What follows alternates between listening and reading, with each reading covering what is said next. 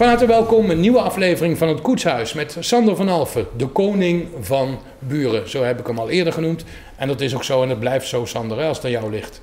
Nou ja, de koning, dat weet ik niet. Maar uh, we zijn wel de grootste partij met gemeentebelangen en uh, dat willen we graag blijven. Um, de gemeente Buren, het is politiek gezien een rommeltje. Althans, het was tekst van iemand die bij jou uh, in die raad zat. Is dat ook zo? Nou, een rommeltje is wel een heel groot woord. Er gaan uh, heel veel dingen gelukkig ook goed in de Raad van Buren, maar er gaan sommige dingen ook minder. En een van de dingen ja, waar we op dit moment mee te maken hebben is met een, uh, ja, met een bestuurscrisis. Die bestuurscrisis um, die is een, uh, zeg maar een dikke maand geleden begonnen. Daarvoor natuurlijk was het al hommelus, maar ja. toen is het echt uitgesproken door jouw persoon ja. om het college op te blazen. Ja, nou ja, uiteindelijk hebben een tweetal wethouders hun, hun aftreden aangekondigd. Die hebben gezegd wij stoppen ermee. En voor ons was het toen eigenlijk geen optie om twee nieuwe wethouders te benoemen en gewoon door te gaan waar we mee doorgingen. Dus ja, toen, uh, toen is dat eigenlijk gaan rollen. En dat is voor ons wel de reden geweest om uiteindelijk te zeggen, ja, we hebben er geen vertrouwen in. Maar als we nou de vinger op de zere plek willen leggen, waar moeten we dat doen? Ja, ik denk dat er een heleboel verschillende zere plekken zijn. Um, ik, ik, denk dat um, er te grote verschillen waren tussen de partijen. In ieder geval goed, qua je personen. Had een, je had een coalitieprogramma ja. um, uh, op hoofdlijnen. Ja. Uh, daar hebben jullie elkaar destijds wel gevonden. Ja, en dat coalitieakkoord dat is ook eigenlijk, vind ik ook nog steeds best wel goed. En dat wordt ook door, eigenlijk wel door de gehele raad wordt dat ook wel ondersteund, de punten die daarin staan. Maar hoe kan het dan zo ontsporen? Nou ja, ik merkte, het zit op een aantal dossiers, dingen waarbij geen afspraken waren gemaakt in de coalitie, die toch aardig zijn, zijn gaan botsen. En het zat vooral ook op het persoonlijke vlak, van mensen die minder met elkaar klikten. Um, goed, je hebt met elkaar te maken. Ja. Je moet het ook met elkaar doen. Het is toch logisch als je in zijn raad zit, want daar zit je niet om vrienden te maken, dat je het ook uiteindelijk dat oppakt en gaat doen. Hoe kan het dan toch zo misgaan? Ja, je moet er wel vertrouwen in hebben dat het ook goed blijft gaan. En als je met elkaar een coalitie aangaat, dan weet je dat je af en toe een keer water bij de wijn moet doen. En dat je een keer concessies moet doen als partij. Hè? Dat je niet alles voor elkaar kunt krijgen ja, wat je eigenlijk zou willen. Anders was iedereen wel gemeentebelangen geweest uh, hè, als alle mm -hmm. onze punten door zouden gaan. Maar je moet op een gegeven moment uh, ook wel op elkaar kunnen vertrouwen. En ook wel zeker weten dat je knopen kunt gaan doorhakken. En dat vertrouwen was er niet? Dat vertrouwen had mijn fractie in ieder geval niet meer, nee. Uh, ook niet in het college, voor zover je daar zicht op hebt? Nou, in het college eigenlijk wel. Wat ons betreft uh, hadden de wethouders niet hoeven op te stappen. Dan was er misschien ook wel een andere situatie geweest. Wij hadden zeker wel het vertrouwen, zowel in wethouder Kelle, onze eigen wethouder, als in wethouder Russen. Dat, we vonden dat ze goed werk deden. Um, maar ja, dat werd niet breed gedragen.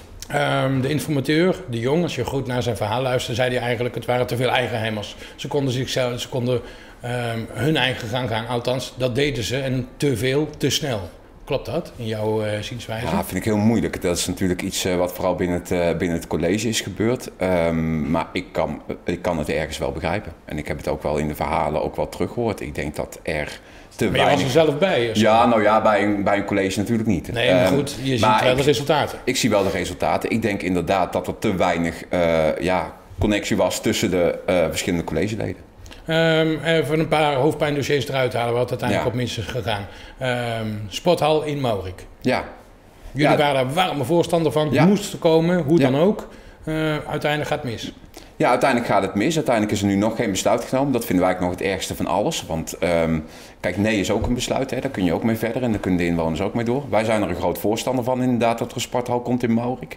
Maar het uh, kon financieel niet, hè? althans. Nou ja, dat, dat melden uh, aardig wat partijen in, ja, in Buren. Weet, weet je wat het is, Rini? Um, geld is een, ja, een goede dienaar, maar een slechte meester. Je moet je eigenlijk niet altijd door financiën laten leiden. En um, zo'n sporthal, natuurlijk kost dat geld. Uh, maar alle alternatieven die kosten ook geld. En misschien nog wel veel meer geld. En ja, daar werd niet goed naar gekeken. En het gaat er vooral om wat je wil volgens mij in de politiek. En daarna ga je zorgen dat daar dan financiën bij komen. En ik snap dat dat voor sommigen een grote rempel was. Hè, dat het geld kostte, dat, dat is nou eenmaal zo. Maar als je kijkt naar het dorp Maurik, zoals het nu is, er zijn twee scholen, daar is geen gymzaal. Er is helemaal niets. Er is geen één sportaccommodatie voor de kinderen om, om te gaan gymmen. De kinderen moeten elke dag met de bus naar andere dorpen worden gebracht. Ja, dat brengt ook heel veel kosten met zich mee. En omdat er twee scholen zijn, kun je wel alleen een gymzaaltje bouwen in zo'n dorp. Maar ja, daarmee kom je ook niet verder, want dat is eigenlijk alweer te klein. Dus dan zit je nog steeds met die vervoersbeweging, heb je nog steeds eigenlijk geen structurele oplossing. En omdat er ook nog bij andere verenigingen in onze gemeente best wel wat capaciteitsproblemen zijn, oude gymzalen die, die eigenlijk op zijn, bijvoorbeeld in Ekkenwiel, nou ja, zou het veel mooier zijn als je daar een sporthal kunt plaatsen, want dan heeft iedereen er wat aan. En dan moeten kinderen uit Ekkenwiel met de bus naar Maurik? Nee, nee, nee, want bij de school is er ook nog van alles mogelijk. Daar, okay. dat, dat, is niet, dat is niet direct aan de orde, maar het is wel voor de wat grotere verenigingen binnen onze gemeente. Ja, biedt het gewoon heel erg veel kansen. Ja, het rommelde al in buren hè, toen dat speelde. Ja. En toen kwam de PvdA-wethouder eroverheen met het verhaal van de bibliotheek. Zo van, nou, daar gaan we mee stoppen. Ja. En dat besluit had hij zelf genomen? Nou, hoe is dat, proces precies gegaan? Vertel nou eens. Nou ja, hoe dat proces precies gegaan is, dat durf ik je ook niet te zeggen. Uiteindelijk is er discussie geweest of dat punt terug naar de gemeenteraad zou moeten komen. Hè? Of dat er een collegebevoegdheid was om te stappen met bibliotheekwerk. Ik kan wel zeggen dat mijn fractie het eigenlijk volledig eens was met de lijn die door de wethouder was uitgezet. Dus om eigenlijk te stoppen met de fysieke bibliotheek, maar veel meer de boeken naar de mensen toe te gaan brengen. Dus ja, wij konden ons eigenlijk prima vinden in dat voorstel. Maar goed, daar waren sommigen hadden daar ook wat meer moeite mee. Buur is destijds uit um, Bibliotheek Rivierland gestopt, die samenwerking. Ja. Um, is er een kans dat dat weer hersteld gaat worden? Ik denk Uiteindelijk is dat toch ook goedkoper? Nou, uiteindelijk zijn wij er ooit uitgestapt omdat het ons gewoon te veel geld kostte. En omdat er in de gemeente Buren eigenlijk geen fysieke bibliotheek was. Mm -hmm. En... Um, wij hebben daarna, nou ja, het kostte gewoon heel veel geld om toch daarvan lid te zijn. Er was ook geen maatwerkpakket nodig. Er was ook, hè, je kon er geen delen uithalen, je moest met alles meedoen of niet. En toen heeft uiteindelijk de gemeente Buren, toen, we, toen moesten we bezuinigen, die hebben besloten om daar geen deel meer van uit te maken. Nou, er is natuurlijk wel een budget blijven staan voor leesstimulering. En met dat budget, uh, ja, daar proberen we zoveel mogelijk goede dingen van te doen. Kijk, wat ons betreft is de oplossing dan niet om in een van de dorpen, want we zijn natuurlijk een vrij grote gemeente qua oppervlakte, om in een van de dorpen een bibliotheekvestigingetje te doen en in een andere dorp helemaal niks. Dus wij geloven veel meer brengen de boeken naar de mensen. Nou ja, twee jaar geleden bij de verkiezingen hebben we wel eens gezegd, laten we zelf een oude SRV-wagen kopen en laten we een soort uh, bibus weer terugbrengen, net als, uh, net als vroeger. Precies. Maar laten we, zo, laten we op zo'n manier laten we dat insteken, zodat we veel meer mensen kunnen bereiken dan alleen de inwoners van Linden. En nou ja, op die lijn zitten we nog steeds. Um, dat zou misschien best wel kunnen. Ik durf dat op dit moment niet te zeggen door weer aan te sluiten bij Bibliotheek Rivierenland. Maar ja, dan zal daar wel maatwerk mogelijk moeten zijn. Want ja, het budget waar we daar eerst in kwijt waren, ja, dat kunnen we op dit moment niet missen. De buren zit financieel moeilijk en het is een grote gemeente met relatief gezien um, veel verschillende soorten mensen. Hè? Ja, nee, veel verschillende soorten mensen. Een, een gemeente met 15 kernen en elke kern is ook verschillend. Nou ja, dat is ook wel een basis eigenlijk van onze politieke filosofie, dat die kernen ook van elkaar mogen verschillen. Maar wij zien het wel als onze belangrijke taak dat elk van die 15 kernen eigenlijk even leefbaar blijft. Um, als je die verschillen bekijkt, die zien dan uiteindelijk dus ook terug in die raad. Die verschillen zie je ook terug in de raad. Ja, nee, er zijn veel verschillende mensen. Ja, maar dat zal in elke raad zal dat ook wel hetzelfde zijn, denk ik hoor. Dat zal hier in Tiel ook niet anders zo zijn. Zo extreem, zoals in Buren? Nou, in, in buren, kijk, als het dan niet goed gaat onderling, dan merk je ook dat dat soort verschillen ook natuurlijk wel extra groot worden. Hè. Die worden ook opgeblazen. En dat was natuurlijk ook wel een van de adviezen van de informateur. Ga daar met elkaar mee aan de slag. Dat er meer begrip is voor elkaar, dat er meer respect is voor elkaar. Uh, ja, dat als we het met elkaar niet eens zijn, dat we dat gewoon tegen elkaar zeggen. En dat we dat niet gaan uitvechten via de media. Ja, ik, ik heb het op Omroep Gelderland ook gezegd, want ik was bij die vergadering. Uh, nu mevrouw van D66, mevrouw van Zijl is het geloof ik. Uh, die vroeg van, nou worden we dan geïnformeerd? jij gaat van jouw eigen persoon aan van, nou, dat gaan we zeker doen. En toen kreeg je meteen als een opmerking van, nou, dat zou me nou benieuwen. Ja. dat geeft wel heel veel aan, hè? Ja, dan is er, ja, dan is er op de een of andere manier toch wantrouwen. En inderdaad, dat is, dat is zorgelijk. En hoe ga je dat nou rechttrekken als grote partij? Want je moet daar wel, je moet wel opstaan. Ja, nee, je moet opstaan. Wij hebben in ieder geval gezegd na de val van dit college, wij willen weer bestuursverantwoordelijkheid nemen als grootste partij. We zien die, we zien die rol ook voor onszelf, dus we gaan graag door. Um, en in dit proces, op dit moment ben ik formateur van het uh, nu te vormen college. En um, ja, dan moet je gewoon zorgen dat er goede informatiemomenten zijn. Dus dan kun je laten zien hè, dat het ook daadwerkelijk gebeurt. Ja, uh, de Jong, de informateur, um, heeft onderzoek gedaan. Ja. Zijn rapport was niet mis. Um, eigenlijk deugde er op dit moment niet zoveel van. Um, gemeentebelangen, PCG en de CDA. Dat zou de nieuwe coalitie moeten zijn. Ja, dat is zijn, uh, zijn, uh, ja, zijn hoe zeg je dat? Zijn, zijn advies. Ja. ja, zijn advies om dat op dit moment te gaan onderzoeken. Nou, en jullie zijn daarbij aangesloten. Wij zijn daarbij aangesloten, ja. Dus daar, gaan, daar zijn we nu mee bezig. Um, traject, want hij gaf ook aan. Um, timmer het verhaal nou eens goed dicht. En niet op hoofdlijnen, maar dat je elkaar kunt afrekenen. Hè? Niet dat er te veel vrijheid is en een openlijkheid om um, van tevoren allerlei dingen gaan, te gaan invullen. Laat ik het zo maar even nee, zeggen. Dat klopt, dat klopt. Uh, maar jij zit juist ook op tijd. Je wil het zo snel mogelijk weer voor elkaar hebben.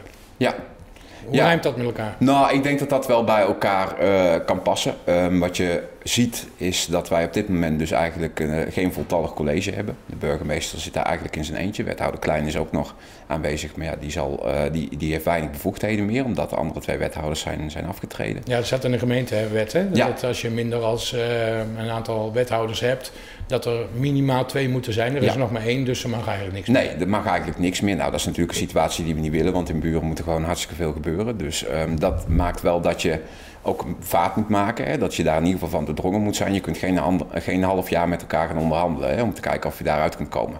Dus je moet snel weten van komen we eruit of komen we er niet uit. En inderdaad, zorgvuldigheid is natuurlijk ook heel erg belangrijk. Over sommige dossiers zullen we gewoon hele goede afspraken moeten maken. Ehm, en dan praten we weer over de dossiers die, eh, die nu ook al hot zijn. Onder andere denk ik, ja, nee, onder andere. Dat zijn natuurlijk wel dossiers. Op sommige van die... Op, Noem er eens een paar. Nou, op de meeste van die dossiers is uiteindelijk nog geen besluit gevallen. En eh, als je bijvoorbeeld kijkt naar de sporthal eh, als voorbeeld, of over het bibliotheekwerk die, Mhm. Nou, maar goed, bijvoorbeeld die je eh, net aanhaalt. Van gemeentebelang is duidelijk. De sporthal moet er komen. Wat ons betreft blijft dat zeker ons standpunt, ja. Ja, en andere dossiers? Nou, andere dossiers die zeker spelen. De allerbelangrijkste is toch wel de, de financiële situatie van de gemeente. Die is zorgelijk. Die is zorgelijk, vooral als je kijkt naar langere termijn. En ook omdat we niet weten wat er allemaal nog op ons afkomt. Eh, We zien vanuit het Rijk dat er regelmatig taken naar ons toe komen. Lang niet altijd met evenveel budgetten.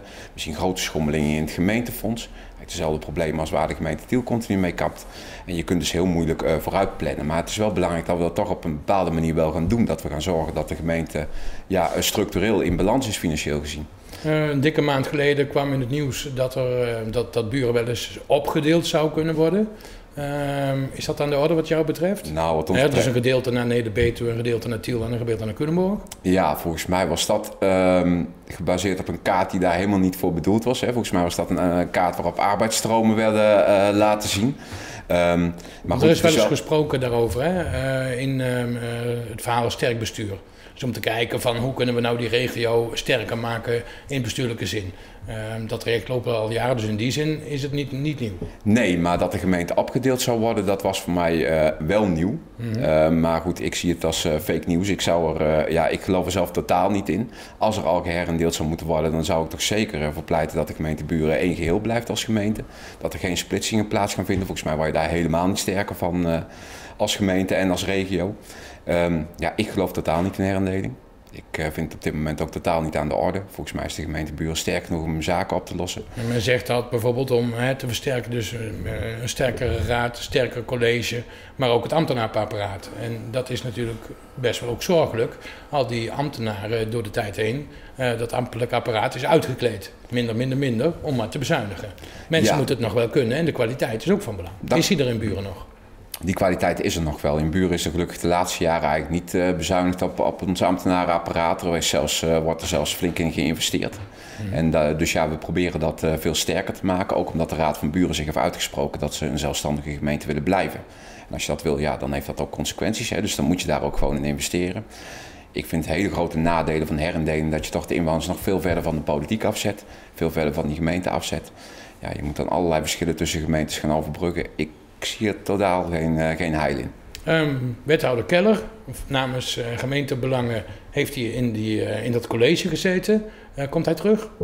Dat weet ik nog niet. Dat, eh, de, kijk, we, gaan, we zijn nu aan het onderhandelen op dit moment. Ehm, Dat gaat op inhoud. dat gaat op inhoud. En op, in eerste instantie gaat het ook op inhoud. We proberen eerst op inhoud eruit te komen. En daarna ga je kijken naar de mensen van het college. Nou, de PCG en CDA hebben duidelijk al wel laten blijken in, in hun bewoording van nou, hier zijn we wat toe genegen. CDA wil graag ook die verbindende rol hebben daar waar het nodig is. Was ook eigenlijk een van de opdrachten Ja. vanuit ehm, de bevindingen van de Jong in zijn, ehm, in zijn rapport. Ja, gaat het er goed komen? Ik denk dat het goed gaat komen. Anders was ik er ook niet aan begonnen. Nee, als er geen vertrouwen in zou zijn dat het zou kunnen, dan, dan waren we dat niet, eh, niet gaan doen. Maar dan heb je ook al nagedacht over een nieuwe wethouderskandidaat. Ben je dat zelf? Ik ben dat zelf in ieder geval niet. Want je hebt in, die, ehm, eh, in dat college ooit al eens gezeten. Ja. Ehm, is jou dat achteraf gezien bevallen? Eh, ik vond het wethouder zijn een, eh, een hele mooie baan. Ja, nee, absoluut. Maar Maar waarom ben je dan nu niet meer beschikbaar? Nou, omdat je toch weer ehm, eigenlijk je hele eh, ja, je moet alles op stap zetten voor wethouder zijn. Ik heb nu een leuke baan en daar zou je dan mee moeten stappen. Het is nu voor een periode van twee jaar, daarna weet je ook weer niet verder. Kijk, uh, het heeft allerlei voor- en nadelen. Hmm. Ik zou het op dit moment liever niet willen. Nou, ik vraag dat ook omdat het nodig is dat je zelf je eigen partij uh, leiding geeft. Nou, absoluut. En dat, ik heb het heel goed naar mijn zin in de gemeenteraad. We hebben een hele leuke fractie met acht mensen, dus dat is, dat is geweldig. Maar dat vraagt natuurlijk ook veel, veel sturing en veel coaching. Ehm, wij, kijk, omdat je, wij zijn verreweg de grootste partij in de gemeente Buren en dat brengt allerlei verantwoordelijkheden met zich mee, ook binnen het, uh, het raadslid zijn. En ja, ik heb het heel goed naar mijn zin op dit moment, dus uh, ik wil daar graag mee doorgaan. In dit gesprek hebben we tot nu toe de burgemeester, uh, daar hebben we het nog niet over gehad, maar die kreeg er ook toch flink van langs van, van de Jong. Ja, de burgemeester, daar werden ook een aantal dingen over gezegd. Kijk, we hebben uiteindelijk gekozen om een onafhankelijk informateur um, te vragen. Iemand die helemaal los stond van alle partijen, iemand van buiten. En, hoe kwam je aan die beste man? Um, door wat gesprekken toen we aangaven dat we op zoek waren naar zo iemand. Nou ja, dan vraag je eens rond. En uiteindelijk kwam ik via via bij, bij meneer de Jong terecht. En um, ja, daar heb ik een paar gesprekken mee gehad. En dat leek me een hele capabele man waar iedereen ook wel daadwerkelijk zijn verhaal durfde tegen te zeggen. Ja. Want het is, ik vond het heel belangrijk dat nu gewoon alles op tafel kwam. Hè? Alle nou ja, rotzooi die er misschien wel is, dat die gewoon ook gewoon een keer uitgesproken wordt. Had het over een veenbrand die ja. rokkelt? Ja, en nou ja, wat heel moeilijk was in de gemeenteburen was om dat uit te spreken naar elkaar. Dat gebeurde ook veel, veel te weinig. Dus het bleef allemaal een beetje hangen en het zat er een beetje in. Maar dat, ja, He, je kwam er niet uit. En nu is het in ieder geval allemaal gezegd. Nu kun je er ook gewoon met elkaar mee aan de slag. Dus volgens mij is dat heel ook um, um, met name van PvdA en VVD regelmatig te horen van Sander, wij wilden wel samenwerken, maar jij niet. Ja, ik heb daar een totaal andere uh, visie over. Maar goed, ga hier ook niet met modder gooien en teruggooien. Dat was volgens mij ook een van de adviezen. Ik heb daar uh, hele andere beelden bij, maar dat is misschien nog... Uh, voor een volgende keer. Het is een zaak dat er nu um, ja, daadwerkelijk bestuurd gaat worden? Nou, het is zaak dat daadwerkelijk bestuurd gaat worden, inderdaad. Dat is het allerbelangrijkste. Um, de rol van de boer? Ja. Dat zou de hoeder van de kudde moeten zijn, toch? Ja, nee, absoluut. Is hij dat te weinig geweest? Of heeft hij die kans ook niet gehad? Ik denk dat hij heel weinig de kans daarvoor heeft gehad. Ik ben heel blij dat op basis van het rapport van de informateur... Um, dat alle partijen nu hebben gezegd... nou, je krijgt die rol, hè, ga daarmee aan de slag... Dus um, ja, daar gaan we de komende weken verder met elkaar over praten. Over hoe dat nu precies handen en voeten kan krijgen. Die veenbrand, ja. die woedt nog steeds? Uh, ja, ongetwijfeld. Maar hoe ga je die nou stoppen? Hoe ga je dat nou doen? Ja, volgens... uh, iedereen kijkt naar jou. Ja, iedereen kijkt naar mij. Nou, je moet volgens mij vooral bij jezelf blijven. En uh, natuurlijk in, in dit soort trajecten heeft iedereen heeft daar schuld. ook zelf. Je moet ook naar jezelf kijken, naar wat er beter had gekund en, en wat er anders had gekund. Ja, volgens mij moet je dat proberen in ieder geval beter te doen. En daarmee aan de slag te gaan. Maar vooral ook een, uh, ja, volgens mij ook stabiele partij blijven. En kijk, wij zijn echt geen enge mensen als gemeentebelangen. Ik ook niet. Ik ben volgens mij behoorlijk benaderbaar. Iedereen kan bij mij terecht. En als ik ergens mee zit, ga ik ook naar diegene toe. Ja, daarover gesproken. Uh, dit programma is eerder opgenomen. Ja. Uh, zojuist bij het koetshuis buiten kwam iemand tegen. Volgens mij moest je die nog te goed doen. Die moest ik nog te goed Hoe zat het verhaal in elkaar? Ja, nee, ik kwam iemand tegen. Ik mag in mijn vrije tijd ook nog leider zijn bij, bij ISC, bij de voetbalvereniging in Ingen. En een van onze spelers kwam ik toevallig tegen. Dus ik heb beloofd om hem de groeten, de groeten te doen. Dus uh, hierbij, uh, Ruben, de groeten aan jou. En ik hoop dat je snel weer op het veld staat. Um, nog even over voetbal gesproken. Uh, je bent zelf zwaar FC Linde fan, hè? Ja, ik ben wel, wel supporter van FC Linde. Ja. ja, daar woon ik ook vlakbij. En ja, Hoe gaat ik ga het graag kijken. Hoe gaat het nu? Nou, ik vind het uh, op dit moment redelijk gaan. Op het begin, uh, de, aan het begin van het seizoen, um, ja, toen werden er helaas nog wat punten verspeeld. Dat er niet al te veel doelpunten werden gemaakt. Maar um, ja, het gaat steeds beter. Dus ik hoop dat die goede lijn blijft doorgezet worden. Ja, ik hoop uiteindelijk dat uh, volgend jaar weer Tech speelt in de, in de tweede divisie. Ja, sowieso hebben we hele leuke potjes al gehad, leuke ja, derbies. Um, en dat is ook goed voor deze regio, want deze regio moet het samen doen. Hè? Niet zozeer als rivierenland, maar wel als de Betuwe. Hoe zie jij dat? Nee, absoluut. We moeten het met elkaar doen. En um, we moeten elkaar volgens mij ook als gemeente versterken. En daar zie ik ook allerlei kansen toe. Elke gemeente heeft wel zijn eigen uh, karakteristieken en zijn eigen eigenschappen, waardoor je volgens mij elkaar ook daadwerkelijk kunt versterken. Kijk, ik geloof niet in herindeling, dat heb ik al aangegeven, maar ik geloof wel in samenwerking tussen gemeentes. Um, en dat gebeurt nog te weinig? Ik denk dat we op de goede weg zijn, dat we op veel thema's al wel samenwerken. Ik denk ook dat we op andere gebieden ook zouden moeten samenwerken, dat daar nog best wel mogelijkheden liggen. Nou, een van de dingen waar wij op dit moment mee bezig zijn als fractie is vooral te kijken naar, uh, naar advieskosten. En uh, wij zien bijvoorbeeld uh, een accountantsdienst, allemaal van dat soort punten die gewoon de individuele gemeentes heel veel geld kosten. Waarvoor je eigenlijk niemand kunt inhuren omdat je daar gewoon te weinig werk voor hebt. Maar omdat je dat uit de markt moet halen, ja, blijft het continu heel erg veel geld kosten. En ja, wij zouden heel graag onderzocht willen zien of dat niet gezamenlijk door gemeentes zou kunnen worden opgepakt. Nou, de boodschap van de jong was: jullie moeten het met, met elkaar gaan doen. Doe dat dan ook. Ja. Um, ik wens je daar heel veel sterkte bij. Nou, dankjewel. Um, en kunnen we afspreken dat als zeg maar, um, weer iets te melden valt, dat je dan weer terugkomt in het koetshuis? Ik hoop voor het einde van het jaar weer bij terug te zijn. Nou, dan bedank ik jou bij deze en tot dan. Tot dan.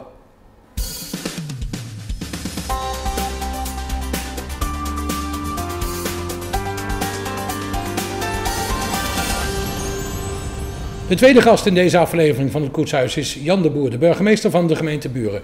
Uh, mag ik Jan zeggen? Zeker. Van harte welkom. Uh, het zijn roerige tijden in Buren. Daar hebben we ook uh, mee over gesproken met, met Sander van Alphen, de fractievoorzitter van gemeentebelangen. Daar zoomen we niet te ver op in. Maar het is inderdaad wel een bijzondere situatie. Hè? Want u bent de alleenheerser in de gemeente Buren. Nou, zo zou je bijna uh, kunnen zeggen. Uh, uh, het is wel zo dat de gemeentewet heeft bepaald dat alle besluitvorming via de burgemeester gaat. Maar er is nog wel een college. Wethouder Klein is dan adviseur van de burgemeester. Maar die mag uiteindelijk niks doen. Maar gelukkig kan wethouder Sietske Klein voor heel veel dingen gewoon actief haar werk blijven doen. Zoals ze dat al een aantal jaren doet. En we hebben ook afgesproken een aantal onderwerpen die te politiek zijn. Ja, daar ga ik nu niet over besluiten. Dat is straks weer aan de gemeenteraad en een nieuw nieuw college. Kijk, um, um, fysiek is dat natuurlijk best nog wel een dingetje, denk ik. Hè? Want u moet natuurlijk overal zijn op het ogenblik. Het leven is keuzes maken. Dus is ook als er druk op de agenda is, uh, gaan andere dingen niet door. Of je gaat er wat korter heen. Of, uh, nou ja, zo moet je heel pragmatisch ermee omgaan. Maar sowieso per saldo is het wel drukker. U zit al jarenlang in, dat, in het bestuurlijke wereldje. Uh, jarenlang wethouder geweest ergens in de plaats in Noord-Holland, uh, meen ik me te herinneren. Uh, hoe bevalt het nu om burgemeester te zijn? Het is ontzettend leuk werk. Dit is mijn zevende jaar en mijn tweede termijn. Ik ben in mei dit jaar herbenoemd. En het is elke dag anders, uh, maar dat vond ik als wethouder al en dat vind ik als burgemeester ook. En een burgemeester is natuurlijk, uh, staat boven de partij, is onafhankelijk, dus die rol vind ik ook ontzettend leuk en uitdagend om dat uit te voeren. Daarover gesproken, u bent toch de hoeder van de kudde. En ook u kreeg er flink van langs in dat rapport van, van de jong, die informateur. Nou, het is niet zozeer flink ervan langs. Het is zo daar waar strijd is binnen het college, binnen een raad, tussen raad en college niet goed gaat, dan, dan, dan, dan krijg je overal spanning. En ook de burgemeester is een bestuursorgaan en is van beide organen ook nog de voorzitter. Dus dan worden er ook opmerkingen over de, over de voorzitter van de raad gemaakt. Ja, dat mag ook. Dus daar moeten we ook met elkaar over spreken. En ik denk als we straks een paar maanden verder zijn, bij elkaar dus diep in de ogen aangekeken, er is straks een nieuw college aan de start, dat we dan zeggen van goh het was een vervelende periode, maar we moesten er wel even doorheen. Dus ik denk ook echt dat we vanaf, uh, vanaf de komende week echt weer omhoog gaan, de weg op. De problemen die er uiteindelijk zijn geweest, die hebt u zien aankomen. Hebt u de tijd niet kunnen keren? Nee, kijk, dat is het lastige van, dat is weer het nadeel als burgemeester. Ik ben geen onderdeel van de coalitie of, uh, uh, of politiek zo actief in de raad uh, als fractie bijvoorbeeld. Hè. Je bent voorzitter van en je bent dus ook voorzitter voor iedereen. Ja, dus je kunt eigenlijk ook geen politiek voeren? Nee, ik kan een gesprek organiseren, ik kan de raad faciliteren, ik kan een college faciliteren met, met dagen op de hei. Maar dat zijn allemaal dingen die gebeurd zijn. Maar uiteindelijk moeten de politici het zelf doen. Precies, het gaat om de mensen. Ja, ja. en uh, over het algemeen, ik, ik, ik heb ook echt, echt het geloof dat het weer goed komt. Maar we moeten er even doorheen. Ja, dat geloof dat moet u natuurlijk hebben. Uh, er is uh, gesproken, hebt u al eerder gevraagd over, nou, misschien moet buren wel opgedeeld worden. ja, opgedeeld, groter gemaakt. Dat, dat, dat heeft, uiteindelijk gaat het om de omgang met mensen. De raad heeft echt destijds een besluit genomen. We gaan voor zelfstandigheid en daar moeten we ook op inzetten. En al de dingen die niet goed gaan, dat krijgt nu de aandacht, maar er gaan een aantal dingen echt wel goed. We hebben gekozen voor een aantal strategische opgaven, dus al daarop te focussen. Dat merk ik in de organisatie, komen ook strategisch adviseur. Uh, uh, we hebben een strategische agenda wat dat betreft. Uh, wat dat betreft doen we het weer heel goed in de regio. En ik denk ook als partner is buren gezond eigenwijs, zeg ik altijd maar. De meeste keren doen we mee. Af en toe zeggen we eens een keer nee, maar er zijn er ook redenen voor. Politieke Als je redenen. kijkt naar, naar, naar die regio, hè, met Tiel, meneer de Betuwe. Um, die samenwerking, verloopt dat voorspoedig? Ja, wij werken uh, samen met Nederbetuwe als het gaat om de participatiewet. Uh, wij werken met alle gemeenten in de regio Vierland samen als het gaat om de drie economische speerpunten. We hebben met alle colleges om ons heen hebben een goed contact. Dus dat gaat gewoon sowieso. Ik, sowieso mag deze regio trots zijn op de samenwerking die we hebben met elkaar. Ja, en we zouden dat veel meer nog uit moeten dragen. Hè? Toerisme, dat is ook wel iets waar u ehm, ehm, iets mee hebt. Ja. Um, in die zin hebt u ook het een en ander opgepakt. u hebt een boek geschreven. Dat klopt, ja. Maar dat is de privépersonen. Uh, dat klopt. Ik heb een boek geschreven. En uh, ik, een aantal jaren geleden kwam ik het verhaal tegen van een boerenknecht die het graafschap Buren in 1631 had verlaten. Hij was min of meer failliet gegaan. Dat was ook de tijd nog van de 80-jarige oorlog, de mhm. reformatie en de opstand. Hij kwam terecht in Amsterdam, tekende daar een contract en ging naar Nieuw-Nederland als boerenknecht. Nieuw-Nederland, het latere Amerika. Ja, dat is later. Dus Nieuw-Amsterdam, dat is later New York geworden. En hij kwam daar terecht. Uiteindelijk heeft hij zich definitief gevestigd in 1637. En hij is de stamvader van de Van Buren family in Amerika. En nu wil het geval dat in de zesde generatie Martin van Buren werd geboren. En hij wordt de achtste president van een nog jonge natie. Dus dan heb je eigenlijk een heel mooi verhaal van uh, ja, hier als boerenjongen en vanuit de armoede gevlucht en uiteindelijk uh, een nazaat die president wordt. En dat uit Buren? En Martin van Buren met roots in Buren. En uh, ik heb daar vier jaar historisch onderzoek naar gedaan. En er is uiteindelijk een boek uitgekomen. Um, dat onderzoek, dat gaat natuurlijk niet vanzelf. Wat hebt u gedaan? Nee, ik heb heel veel literatuurstudie gedaan. Ik heb het boek in vier delen opgebouwd. Het eerste deel is eigenlijk gewoon even schetsen het Nederland van toen. Dus dan is het echt de reformatie. Dus het afzetten van die, eh, die tijd. Ja, je moet even kunnen plaatsen van nou ja, in welke tijd ging hij nou weg. Dus ik ben zo mhm. rond 1550 begonnen een stuk die geschiedenis te beschrijven. De strijd tegen de Spanjaarden, de, de reformatie en het begin van de Gouden Eeuw. Hè, wat betekende dat voor Holland? Deel 2 zoom ik echt in op dit gebied op Gelre, Oost-Nederland. Wij hebben hier geen Gouden Eeuw gekend. Het was hier armoede, veel last van de Spanjaarden. Het was ook frontgebied. Uh, Tiel, Zalbommel, uh, zo'n buren, Culemborg. Het is echt uh, een gevaarlijk gebied om te wonen en te werken. Ook vaak de, de pest en ziektes en kerken verwoest en zo. Dat is het tweede deel. Dan kom ik uit bij de familie Maassen. En het derde deel, ja, dan ga ik langzamerhand naar Amsterdam. We maken de oversteek naar Nieuw-Amsterdam en dan komen we Nieuw-Nederland terecht op de landbouwkolonie. Ook daar was het uh, moeilijk begin. Uh, maar uiteindelijk in het laatste deel is het dus de vorming van de staat Amerika, de Verenigde Staten. En Martin van Buren, het laatste hoofdstuk.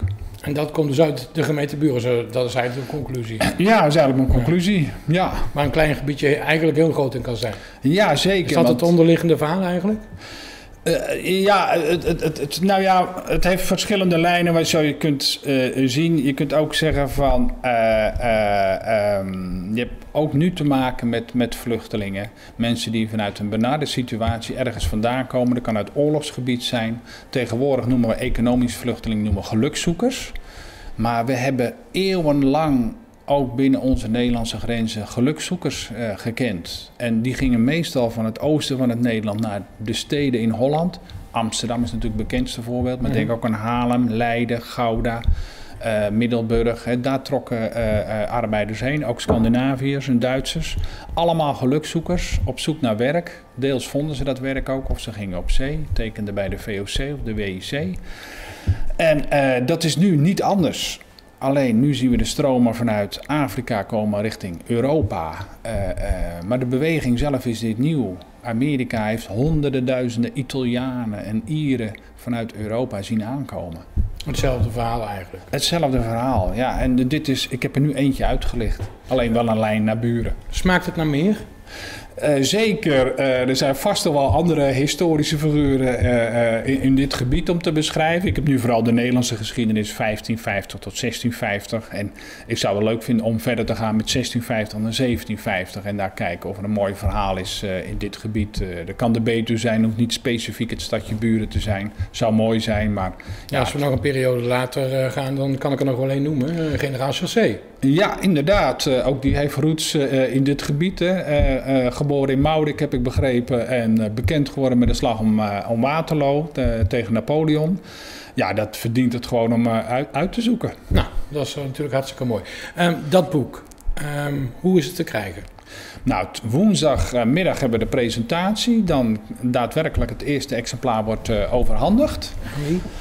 Uh, Martin IJzerman. En Martin IJzerman is degene die het verhaal destijds wat ik tegenkwam heeft geschreven in een, uh, in een historische periodiek van, van West-Betuwe.